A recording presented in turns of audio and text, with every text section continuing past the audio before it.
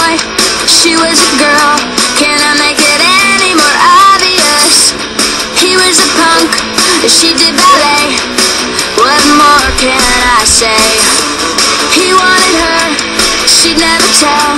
Secretly she wanted him as well. And all of her friends stuck up their nose. They had